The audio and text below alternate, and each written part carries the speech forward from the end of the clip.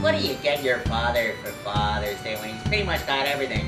A new tie, tickets to a concert like Porno for Pyros, a new belt for the Thrustometer 3000, or just a new coffee mug, because I love to offer my guests a little cock once in a while. Have to pay respects to fathers because they do so much. In fact, they're giving up a great piece of themselves to make sure that you were born. Even if it is confusing for some of you this time of year.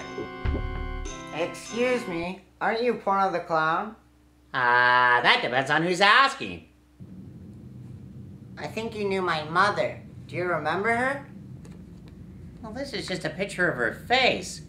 Seen one face, seen them all. Don't autograph it. She just wants a sample of your DNA. My DNA? Well, then...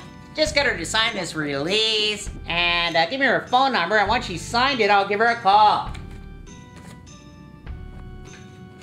Happy Father's Day.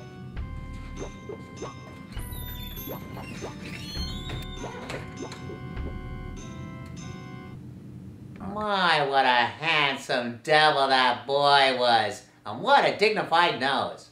I hope his mother won't be too disappointed.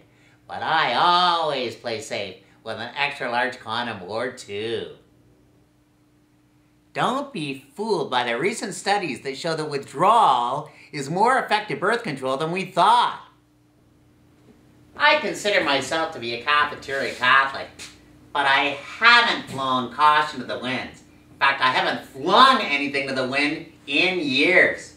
98% protection is way better than the 20% of pulling out and aiming at her tits. And it protects you from other diseases besides pregnancy. As long as it's not the same box of condoms that you used when you had sex four years ago. And remember to use lots of lube because you don't want to be breaking the condom or the person you're with. Remember, have a happy Father's Day. Don't kid yourself or someone may be kidding you.